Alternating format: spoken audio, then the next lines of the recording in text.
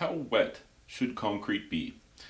If you're new to mixing concrete, this is the first place that you're going to make a mistake for sure. Almost universally, uh, people new with working with concrete, they're going to add too much water, like a lot too much water. Basically, how it works is you're mixing up the concrete and it's super, super dry, and you add a little more water and you mix it super dry. It's so hard to mix, you add a little more, and it's still super hard. You add a, you know, maybe a little bit more water still, and then all of a sudden it's soup. That's how it works. Is there's kind of like a magic number that you're aiming for, and as soon as you add just a little bit too much, it's actually a lot too much.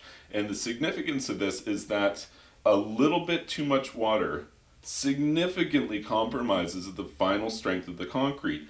The ideal amount of moisture for the concrete to actuate to maximum strength is actually like so dry, it's like damp sand. It's not wet at all. So it's way more dry than what the average person thinks it's supposed to be. They kind of see like, you know, maybe a, a thing on TV about pouring some concrete and it looks like slop, but that's like heavily modified with things like water reducer. Water reducer is something that you would use a lot of if you were making an engineered concrete mix, which is what you're getting when a gigantic concrete truck shows up at your house and starts dumping out concrete that looks like soup.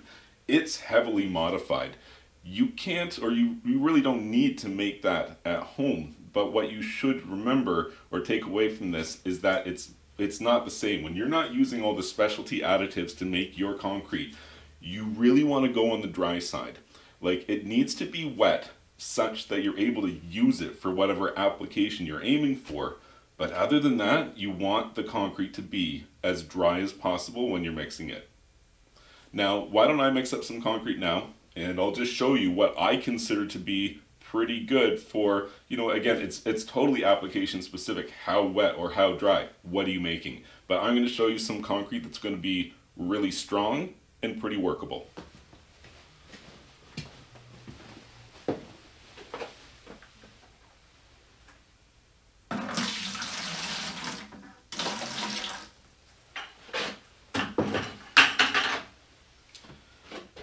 The amount that you use of Portland cement and the amount of sand and the amount of gravel. Again, this is application specific. For, for what I'm doing here, a general purpose mortar, I'm going to be using three parts sand, one part Portland cement. And it's okay if the ratio is a little bit off, but I mean, you want to try to get as close as possible to that. And that's whether you're using like spoonfuls, so three and one spoonfuls, or shovelfuls, three shovelfuls, one shovelful you know, buckets full, three buckets, one bucket. So again, it really kind of depends on what you're doing, how much you're going to be making, but that ratio is very important when you're making concrete.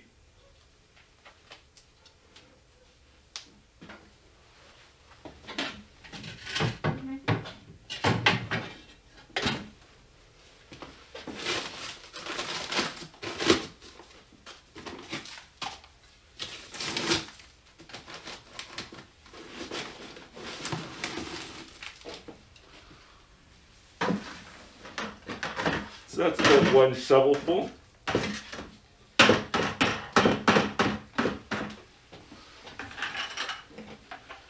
Tiny bit more water. And so I'm going for a, a three to one. Is one. And I'm going to put one, I'm going to call that one and a half. And I'm going to spin that up now. Then I'll add some more sand to bring the ratio up.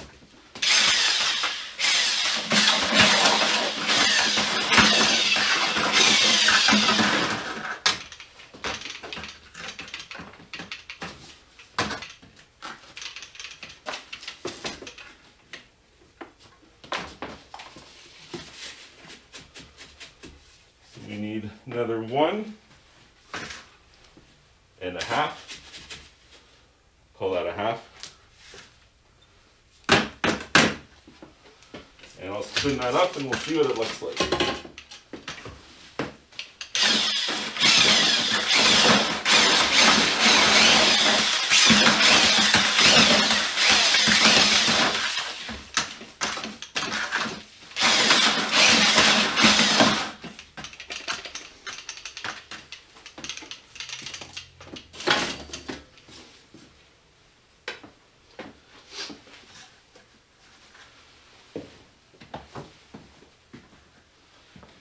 Actually think this is going to make a pretty good example here. You know, I wasn't really being that careful with my measurements, just throwing them in there.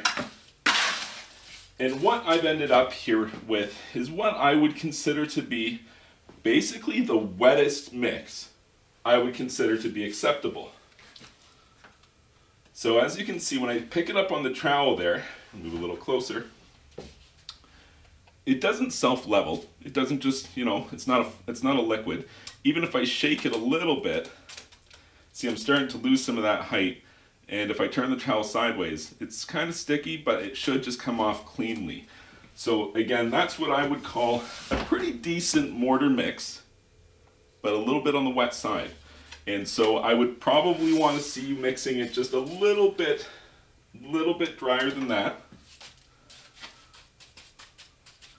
But again, what's your application? What are you using this for? If you're using it for something that needs a lot of detail, like you're, you have a mold that you're going to cast, it kind of needs to be wetter because you need to be able to get the finer details and the finer textures. And a very, very dry mix is not going to really do a good job with that. So again, I'm just going to take a little bit more of this out here.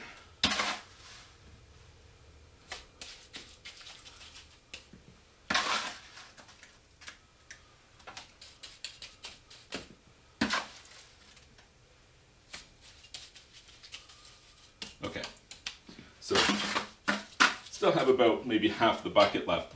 And what I'm gonna do is I'm gonna dry it up just a little bit because it's a little bit too wet and I wanna show you what I think would be a better mix because look at this, even as it's sitting here, you see all that water that's pooling to the surface? That's not good. By the time you finish this, get a nice even finish on it, you're gonna have so much water raised to the surface that the top quarter inch layer of that concrete really is going to be pretty compromised in terms of, of finish strength and uh, any exposure to the elements, that's going to see a failure. So let me show you what, uh, what a better mix would look like.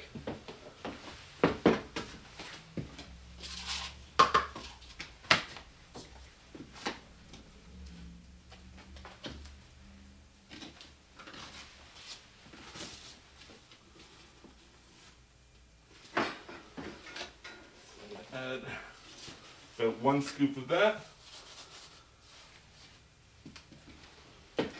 The ratio I'm going for is three to one. Really anything from two to one to four to one is going to give you something pretty usable. But I'm going to stick to that three to one there and see what that looks like.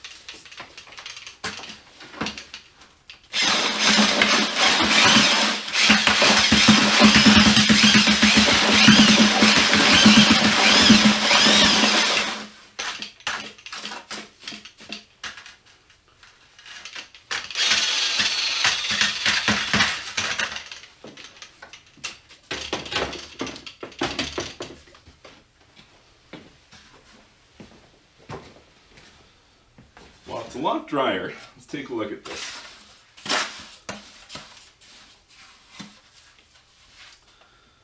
So same thing. It doesn't level, doesn't self-level, but this time, even when I shake it, it's really not going to level at all, which I like better. That's The last one was too wet. That looks a little bit better. Again, it's got some like stickiness to it. That's, the, that's a good sign. And when it comes off my trowel, I want it to come off clean like that. If it's not mixed well, or if it's too wet or too dry, it's going to clump on and off. You want it to come off clean like that. So this is a good mortar. This is something that you could, I mean, you could build a lot of different things with that, and it's going to give you a pretty reliable finish. It's going to be strong. Again, as you can see with this one, there's just so much water raising to the surface there. Let me go ahead and add a little bit more here so you can compare the two of them you can see just how much drier that is. The other one almost self-leveled.